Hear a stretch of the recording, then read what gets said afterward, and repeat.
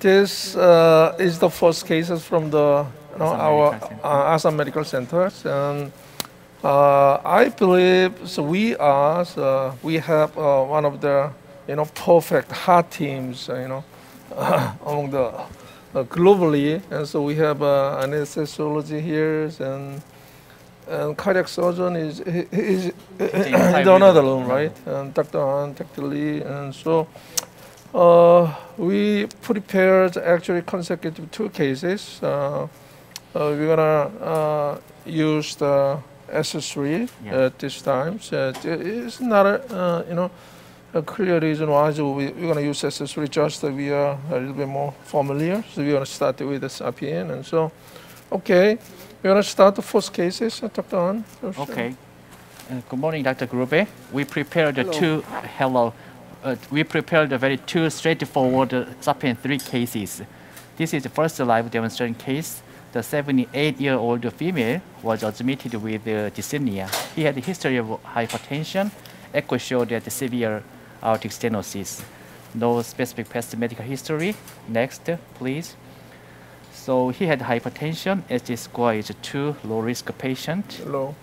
Next. Echo showed the ejection fraction is normal. Peak and mean pressure gradient 164. Vmax is 5.0. Aortic valve area is 0.6 square centimeters. Next. The no tortuous aorta. Next. This is a peripheral access site. There is some calcification, but uh, fortunately the location is opposite to the puncture site.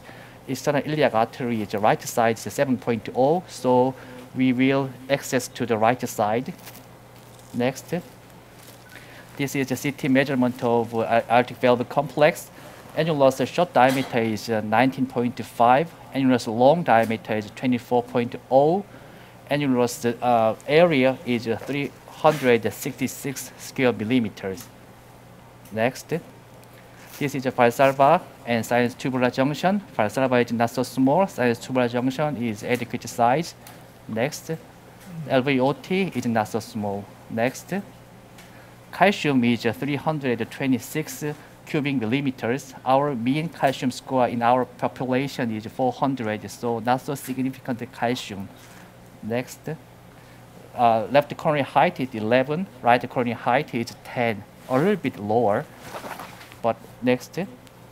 So the sizing is very straightforward. Uh, Sapien 323 millimeters, area is 415. This patient be- uh, area is uh, 300 around. So we, if we, we select 23, so oversize is only 12%. I think this is a perfect sizing for this patient. 10 to uh, 10 to 10 15 yes, 10 to percent. 15 percent. uh, area oversizing that is our by uh, uh, CT measurement, right? Yes, right. And so in every cases we routinely do a pre, you know, CT empty evaluation.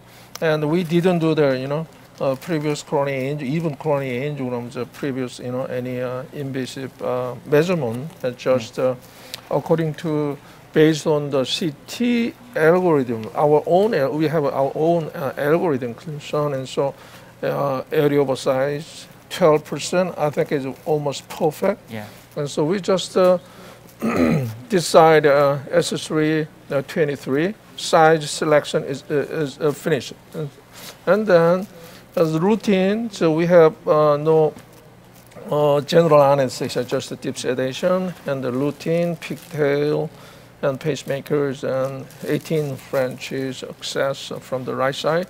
So uh, to in order to save the time, actually this is routine uh, aortograms, uh, perpendicular, you know, uh, analogous, uh, you know, perpendicular lines. So we measure by CT also, Yes, right? right. Exactly same angles, and so the calcification is quite, you know, uh, limited non-coronary cusp, and the other, the left coronary cusp is, uh, you know, quite good. Uh, right chronic cursive is good. And so we, okay, next. Next. We did And So AL1. AL1? Yes. Okay, Teflon soft wire. soft wire. It takes two seconds, right? All right. So we and uh, push the Amplatz guiders, and just we use the Next. Okay, next we use the, you know, soft wire uh, exchange with uh, Safari, Yeah. you know, stiff wires for the uh, main procedures. And so, all right. So we, we, okay, here we are. So we uh, place the Safari, and as a next step, so. Uh, what are the pre-dilations we're going to do or not? Uh, that is one of the issues. However, in our practice, uh, depending on a calcium score, uh, average calcium is almost 400 uh, you know, cubic millimeters in our data. Um, uh, below the that, below uh, below the 400 something, so we you know gonna do uh, some direct you know uh, device implantations without without uh, pre-dilation. And so I want to show you know how long will it take as quite you know very simplified procedures in terms of S3 uh, device. So we didn't see that. What's happened? Okay, here we are. Um, okay. So wire cape and all right. And the balloon bag, you know that. Ba, Did you check the, the coronary artery anatomy? The uh, aortogram looks like uh, some angulation in the ostium of the, the left main, and uh, the calcium was uh, uh, distributed in the mid-aortic portion. Okay. So uh, coronary anatomy is a not, there is a no significant narrowing. Yes, Yeah. uh, we have uh, coronary angiograms uh, uh, taken uh, from the other hospital, uh, so we didn't check it. Um, okay, a little more tuning, more further advance. Okay, I think it's good. Perfect. Lock. Rock. Okay, and then okay, wire please. Uh, keep the wires and angulated, the maximum angulated device system in the aortic root. And then, so we need a little bit, you know, push the device. The reason why is we didn't do a pre-dilation and uh, maybe it's quite enough to Okay. What is it? Test please. 테스트. Okay, a bit further. 임플레이션 임플란테이션 뷰로 한번 보여주세요. Test please. Okay, pull the pull the Actually nice. pull the push out. Okay. Wire in. Okay, good. Perfect. Then lock here. Test please. Okay. If you look at uh, you know device, is a little bit you know one millimeter migrate into the distally, and we're gonna uh, okay see that the device position rather than the you know balloon position. Test please. Test. Test again. I think it's a little bit you know more than half, a little bit deep than you expected. If you look at the you know dot of a balloon, however the device is one millimeter is you know migrate upside. Test please. What do you think? Good. Good. So, pick it out and uh, okay, okay, pacing please. Okay. Um, okay, why not? Inflate. All right. Two, Four, three, four, five. five. Inflate. That moved up. Okay. Rotation off. Rotation off. It's a little.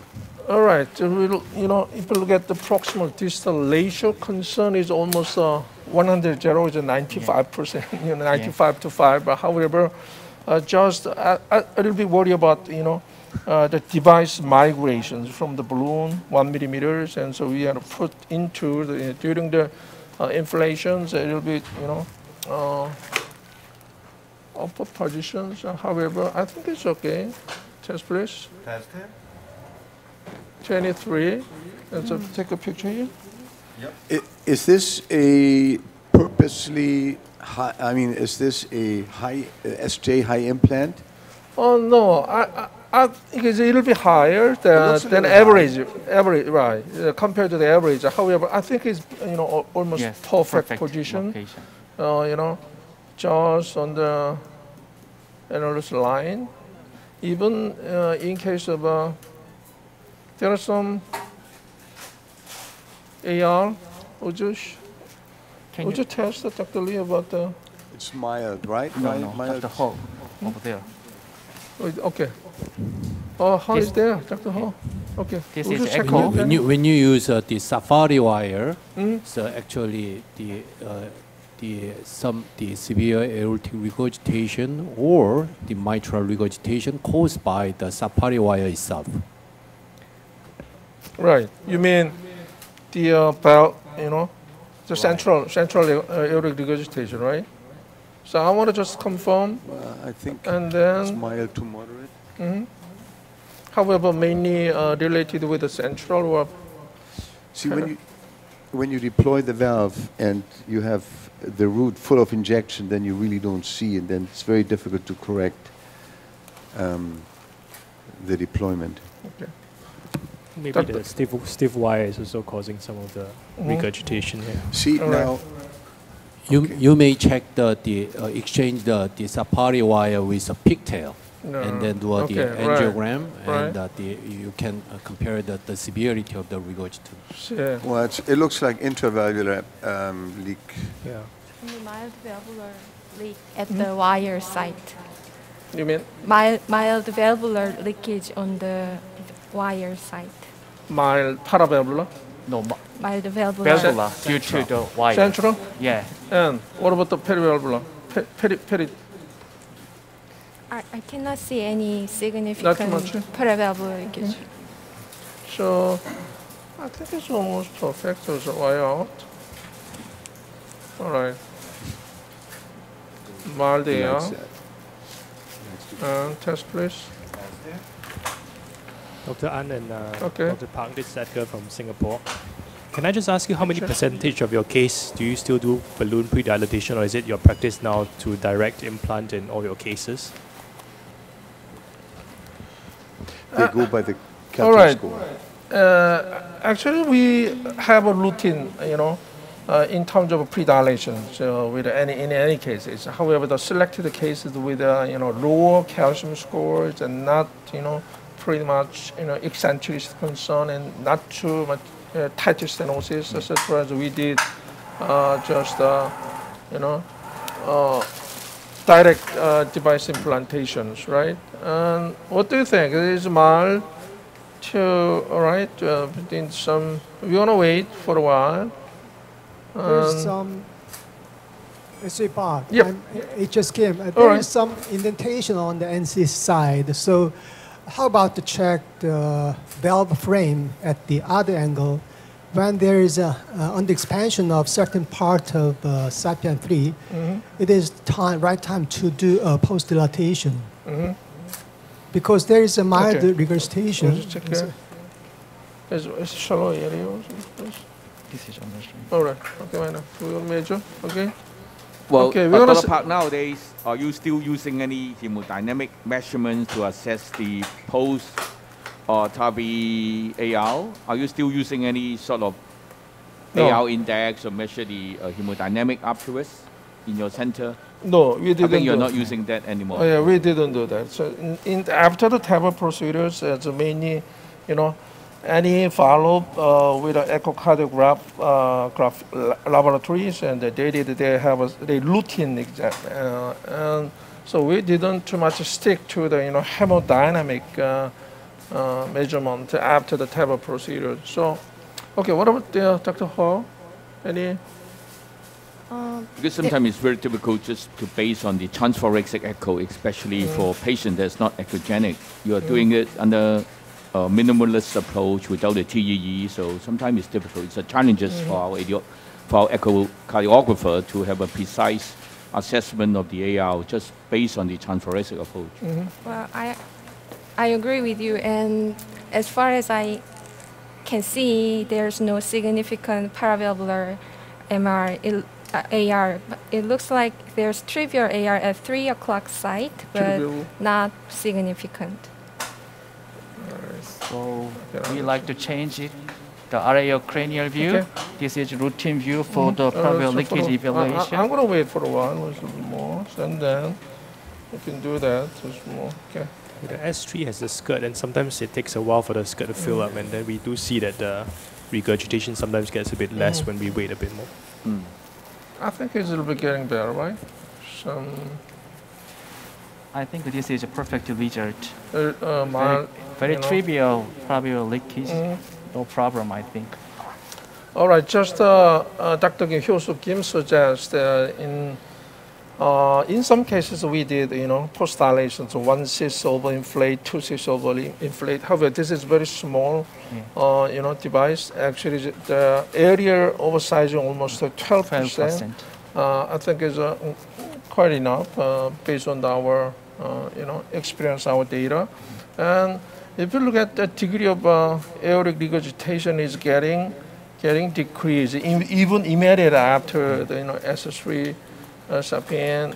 Uh, so I believe uh, actually getting is more, you know, less uh, PVLs and five minutes later something. So I'm just uh, uh, want to show that the uh, just we discussed, uh, you know, the procedure is you know, very, you know, uh, focused on that one and the placement and the uh, uh, device migration in case of uh, SS3, just like one millimeter is not too, uh, you know, big issues. Is, however, uh, it took, uh, you know, if we got some ideas, I think is it took not too long time. So I wanted to show that. And so you're going to see how much PVLs get decreased, right? And so maybe uh, you can get more, you know, detailed procedures information from Large second marker- cases, yes, large second markers. He- All right, he, he's waiting for second cases. Any any comment on that, Eva? Any, any, any further Well, comment? maybe I can ask a question to Dr. Kupi. Are you well using the total calcium score 400 as a dividing line for decide whether you balloon would No, do no, pre-dilatation No. or not in your practice? No, I think that's that's interesting. As you know, SJ always tries to to justify his his procedure, and, and he's he's going to to you know to do some kind of measurement, and he set the bar at four uh, at 400, and uh, that's the way he goes. As you know, we routinely do not pre-dilate. We have to find a reason to pre-dilate, and the reason is uh, bicuspid or balloon sizing, whatever you call that, or you have really massive calcifications. That's the only thing. Otherwise, we don't pre-dilate anymore. I really, But that's, I mean, that's, that's what he's done. That's, he's studying everything and he's establishing some kind of rules and regulations, and that's why I appreciate his, his comments on the, on the calcification, on the score, on the calcium score. If I'm not mistaken, it's 400, right? Yeah, That's the cutoff. Uh, m- more than 400, which, you know, it's, is interesting. Um, for, for me, it's more important where the calcium is and whether, how it's distributed uh, around the, the annulus uh, Right. and within the leaflets than the score itself, even though Right, if right. it's really high, then it's just a lot of calcium. know. Exactly, you know, the, in, in, uh, calcium uh, concern, actually just the Grube mentioned about, you know, where uh, it will be, how big, how much uh, calcium score. Uh, that is, we have very uh, unpleasant experience as more than almost 800 calcium, uh, you know, cubic millimeters. Uh, little bit, we can decide a little bit smaller, you know, device size. The reason why, uh, just one case, One case. one case is of, you know, Annulus ruptures, is mainly related with the calcium, you know, a large amount of calcium is almost uh, 1,000, you know, uh, cubic millimeters. So we have uh, no idea it's exactly less, you know, area uh, oversizing less than 100%, still the risk of you know annulus ruptures is due to the calcium score. And so we've learned, you know, calcium score and and the in, uh, about you mentioned about the locations, right? And uh, as we measure the height of a coronary ostium, so uh, I want, to shorten the, our, our cases. Uh, height, however, depending on the size size ratios. So the reason why would you show us such a ratio? We measure the sinus and ST Right. junction and LVOT. Okay. However, we uh, calculated the sinus annulus area ratio concern, right? If the sinus is big enough, there are some calcium, localized calciums, large size. I think it sometimes doesn't matter, right? Yeah. Uh, Depending on uh, you know sinus size. So, However, uh, No, I average agree with that. Right, right. Average concern. So we the reason why is we measure the ratios, sinus annulus ratios, uh, sinus junction annulus ratios, and so we have some average, you know, value, 1.8 something. Yeah. So 1.49 is average. However, in some cases, big sinus, in some cases, small sinus, even, you know, height is quite enough. Si- sinus size is small. Sometimes some, you know, uh, coronary floors uh, interfere, you know, uh, so we have to consider that point. So uh, really 400 is total averages, and so just so we, you know, it's not a, the, uh, you know, uh, truly uh, based on the data. Uh, however, we have an experiment, uh, our experience, based on our experience, 400 is off. Lower than that, relatively smaller calcium amount. You're going to do the, you know, freely. Uh, however, it's a big calcium, it's a large calcium, it's a very tight stenosis. During the procedures, you know, if device implanted, you know, undilated valve, sometimes it's, you know, blood pressure is getting down, you know, and I don't like that one. And so tight stenosis, large amount of calcium, ju- just you mentioned, so we did pre-dilation, almost routinely. However, uh, particular these cases, you know, small amount calcium is, uh, you know, coronary, uh, left coronary, right coronary cusp uh, area is free of calcium, so, you know, and uh, we're going to do a, a direct stent. Okay, we're going to wait uh, almost uh, five minutes. So, so if you, um, SJ, just one question. Um, Right. With access the coronaries, um, you know this is why the, the Sapien 3 has the larger cells on the on the upper cell Uh-huh. uh, at, the, at the crowns. You would feel comfortable accessing the coronaries in this situation, right? Yes, yes. Have you ever done cases uh, uh, on a Sapien and re? Yes, um, we have we have uh, two cases uh, after Not sapien implantation. We performed the coronary intervention for I left see. side, but fortunately we, we we don't have any problem to access to the left coronary Good. artery. yeah. Okay. All right, so we're going to wait uh, more than five minutes and to take a picture. So, Annette, L2 again. All right, sure. All right, what do you think? do you want to steal? Do you want to steal the second high pressure inflation for that? No. No, no. Yeah, my- I don't want to do that. Any, any comments from the panel? Uh, any any concerns? No. Actually, SJ, the you know I don't hear anything from the audience. Dr. Kim, you have something to say. Uh, she's uh, about 78 years old. I, I think uh, her life expectancy is about 12 years. So I think uh, even mild paravalvular leakage, uh, if it is preventable, This is trivial. I would like to. but if you perform Not the mine. other angle, there is uh, definite uh, under-expansion of the NCC size. All just right. one cyst over field, just Yeah. one minute procedure All right. for the next 15 years. Uh, her remain alive. you know. Yeah. Okay. All right. Good. So Okay, the, SJ. what I'm what I'm I clearly uh, you know getting decrease you know PVL even in the during the immediate after the procedures or five minutes later are clear, right? And then uh, I'm sure uh, I don't know in the future the AL is uh, really you know hemodynamic hemodynamic problems whether or not as we're going to see that. Okay. All right, we're going to move. Second case is, is more, you know, uh, educational uh, from the large macros. So. Thank you very much, Thank you. SJ. Very right. very well done.